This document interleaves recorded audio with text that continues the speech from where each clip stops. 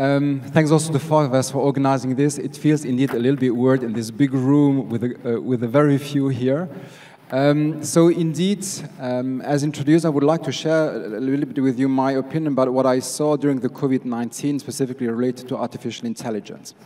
But first, let me just stop one second, and I would like to acknowledge and also thank, and again, the, the visuals are not exhaustive here, number of people that in Luxembourg and abroad have been supporting everybody of us, our families, if it is logistics, military, the teachers, and obviously the health people, if it is doctors and nurses and as well. So I really would like to thank those people for supporting. And I believe without opening a political debate, I think other people will tackle that later on, is I think as Luxembourg, we did it pretty much well in managing the COVID-19 crisis. We hope there will be not a wave three compared to other countries, including neighboring countries.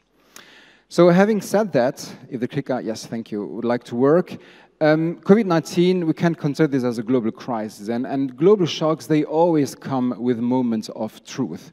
And if you look at, this is a JP Morgan graph that I think they update it kind of every, regularly every year, you can see, and also Peter Lynch, who is a famous investor, was always saying that we have every couple of years, we do have a global crisis. If it is 9-11, war, an, an, oil shock, a subprime crisis, and COVID-19 is another kind of crisis.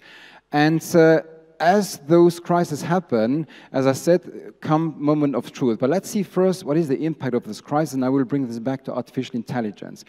If you look, obviously, this global crisis of COVID-19 had huge economic impacts. Uh, if we look at global trade commodity prices, it was a huge decrease. Specific industries like event management, airlines, tourism have seen more than 50% decreases uh, in their activities, which was actually their deepest crisis in history. If you look at the global workforce, there were around 80% of the offices that had to shut down. And, uh, and by that, through these workplace closures, uh, this actually impacted and was the biggest employment decline since World War II. It's not just about economic impacts, it's also about social impacts. And so obviously there were lockdowns. My kids were at home with me and with my wife. Um, schools were closed. People had to stay at home in flats, sometimes without gardens, without the possibility of going out. Impacts on women as well. They had to stay with their partners at home, which created issues also of violence and those kind of, uh, of problems. And then also, if you look at on the right-hand side, you see an image from the European Space Agency. It had also positive environmental impacts as there was less um, economical activity. What is different versus all the other crises I was mentioning, and if you look at the fourth industrial revolution since 2016, I believe this is the first global crisis where AI was a commodity. I would like to look into how and if AI has been supporting this global crisis, and did we see tangible benefits? If we kind of categorize the where AI has been supporting, Obviously, the first category is around scientific and medical and medical activities. Um, for those who uh, know a little bit, when uh, COVID-19 comes in, the chest scans of patients, they have a specific signature, and obviously computer vision techniques have been used and AI has been used to support doctors in the analysis of the chest scans to detect coronavirus from a visual perspective. Chatbots, previous speaker was speaking about it, I'm going to give an example later on about how chatbots have been used in emergency services to avoid and remove bottlenecks. Telemedicine, use of robots as well.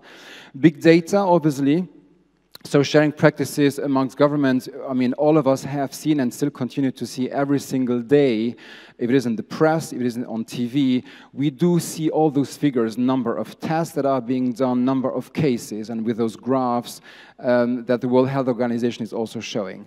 And then teleworking and digital acceleration, I'm going to give an example on that as well through the lockdowns, obviously everybody had to switch online, if it was schools, if it was public administration and businesses. And it's true that companies that had started digital transformation already earlier, they were better fitted than the ones that were a little bit defensive on that. So let me give you, oh, here, those are the wrong slides. Um, the first example I wanted to give you is not this example, so I'm gonna coming back on this.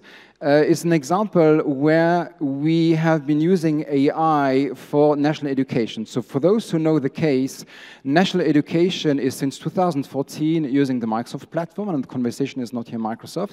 And at the peak of wave one, we had 95,000 daily users, teachers and pupils in Luxembourg using the Teams platform. But you, probably you wonder, what's the relationship with AI? Well, most of us at home don't have a beautiful office. And we need, when we do video conferencing, we need to have a blurring mechanism where we blur the backgrounds. And sometimes even I had it for myself. I had my kids walking behind my desk, and when I'm in a video conf, I want to remove this.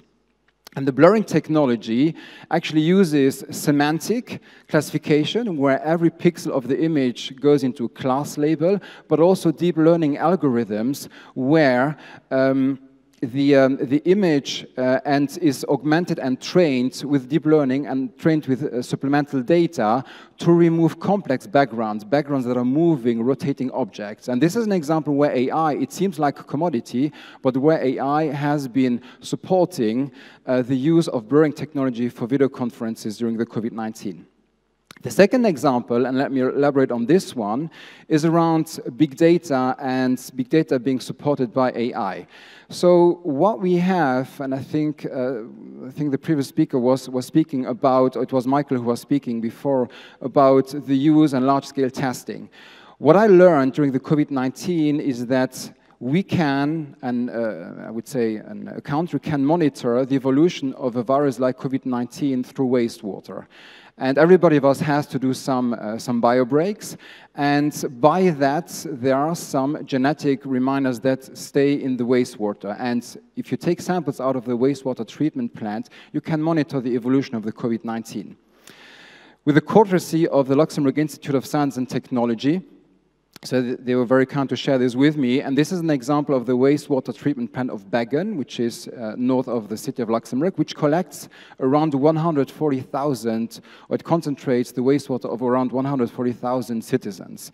And you see, indeed, that through the sampling, it was possible to look at um, how far the COVID-19 was present. So this is typically the wave one. You see it with the timeline as well, so from March on. If I expand this to all the wastewater treatment plants that we have in Luxembourg, so we have the Beggen one was 139,000, you see that indeed prior to the COVID-19 um, so there was nothing in the sampling, but you see the wave one where indeed in nearly every uh, wastewater plant, treatment plant, you could see the COVID-19. Wave one going down and then indeed wave two coming back. So this is a way where indeed you can monitor, but this is just big data. What the LIST did on top of that, and, and I encourage you to listen to Thomas, the CEO of the LIST that is speaking this afternoon about digital society and resilience as well, is they added on top of that visual dashboards and also algorithms and AI to support political decision makers in order to play around with scenarios and be better at predicting potential scenarios short term of what is going on in Luxembourg. The third example is about healthcare bot services. Uh, previous speaker was speaking about bots. And you need to imagine, and let me explain the scenario, you need to imagine that when such a crisis kicks in, um, there are issues in terms of physical scale-out of emergency services. As soon as parents, we have our children or ourselves that have a little bit of fever or maybe a running nose, we probably have assumptions that it could be COVID-19.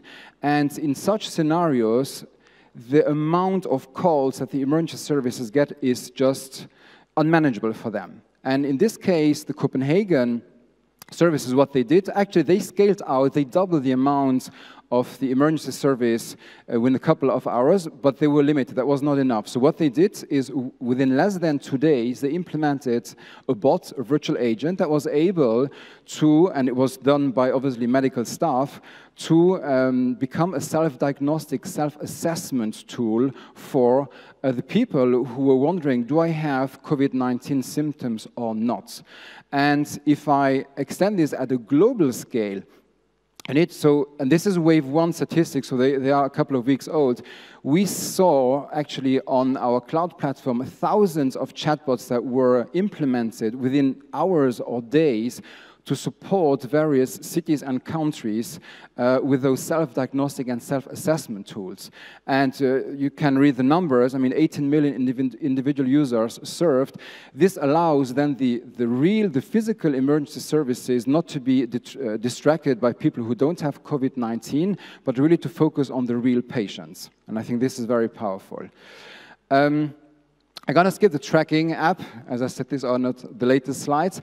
The, the point here about AI, so you, I hope that you saw through those three examples. So the blurring mechanism with the um, Minister of Education, where the blurring of the background, background is done thanks to AI algorithms. We have um, big data uh, monitoring COVID-19 through wastewater treatment. But there are some concerns, obviously, and there and those are real concerns, are very valid concerns, is what about the potential misuse of personal data? I mean, uh, we don't have the time to discuss about the tracking app, but for those who followed the COVID-19, a lot of governments had to take the decision, do we implement a tracking app or not? But obviously, this is bringing a lot of privacy concerns. What will be done with that data? And will the data then be stored? Will it be deleted? And those are very valid concerns. And those are things that we need to continue to address, even though I think that we saw positive benefits and we saw benefits from the use of AI um, through the COVID-19 situation. If we look at the post-COVID world, um, I think that in any case, behaviors will change. I mean, none of us remember the Spanish flu. That was a global crisis already some time ago.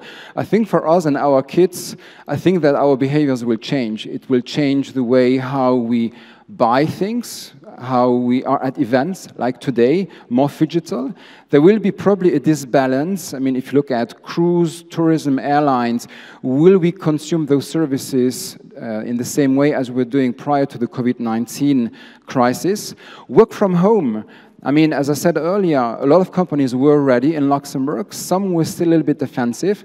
I even saw, talking to some customers, a shift in the mindset of some managers. Some managers, they were not trusting their people to work from home with their arguments saying, yeah, probably they're going to be, uh, I don't know, playing tennis or playing golf and they will not be in front of their, of their computers. But at the very end, this crisis also created a shift in the culture and in the mindset of those managers. They actually uh, saw that those people were working more versus just being in the office. And obviously, what has changed as well is you need to have the discipline uh, for resting when you work from home. Big data, as I said earlier, for me, it's the first global crisis that has been supported by AI. And you saw big data, you still see it in the press, in the media every single day. And I cannot expect this to change. This will even enhance further in the future. Robotics, we did not have too much time to discuss about it, but also robotics have been supporting humans uh, also to avoid, let's say, contagion, infection of patients that had COVID-19, and in the sense of supporting, not replacing humans.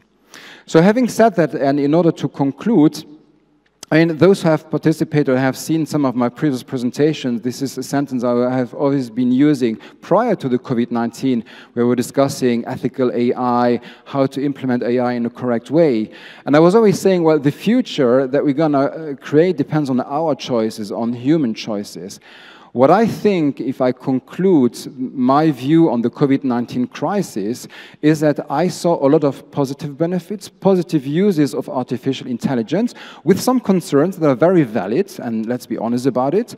And I think that we need to continue to monitor and be cautious about how we use AI. But again, as said, I think there were a lot of positive benefits out of the COVID-19 crisis with the use of AI.